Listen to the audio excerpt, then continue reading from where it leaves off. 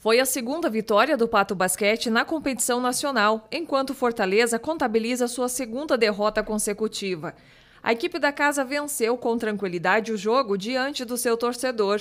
Superior os quatro períodos, não deu chances para o Fortaleza, com arremessos assertivos, jogo conjunto, e mesmo assim o técnico Renan pediu tempo e ajustou sua equipe. O time foi soberano dentro de casa.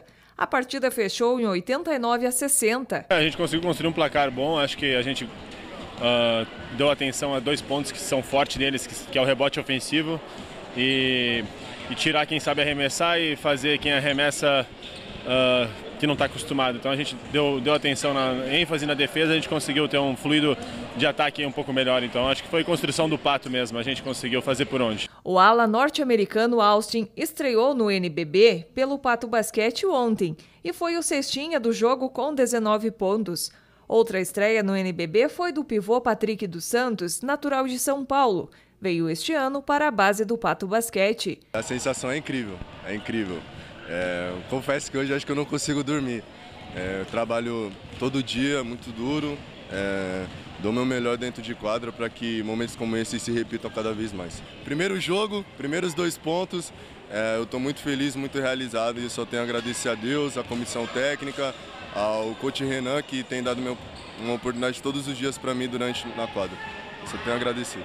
Jogo de estreia com vitória e família em peso na torcida. Dona Nilva, seu Alexandre, meu irmão Taylor, é, minha avó, eu mando um beijo, aquele grande abraço, não só para eles, minha namorada também.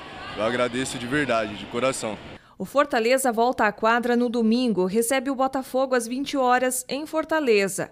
O próximo jogo do Pato já é na sexta-feira, 25, novamente em casa contra o Basquete Unifacisa, às 19h30. É mais um duelo aí forte, a equipe Uh, Dani Facisa vai estar tá forte, a gente já teve uma partida com eles e foi, foi pau a pau. Agora esperar mais uma partida forte. Eles vão vir aqui preparados, já conhecem a nossa equipe um pouco, mas a gente tem que dar atenção aos detalhes de novo uh, na, nos pontos fortes da equipe dele para tentar sair com a vitória mais uma vez. E o torcedor, Arthur, como fica nessa história? É mais um jogador aí que faz parte do, do, da equipe, uh, dá aquela energia, traz uma traz uma energia boa para dentro de quadra, o time sente, então é, é sempre fundamental estar tá contando com a torcida aí. Quem também apareceu nesse jogo, imagina, olha ele ali nas entrevistas e lá no meio da torcida, o mascote do Pato, sempre presente e atento a tudo que acontece no ginásio do SESI.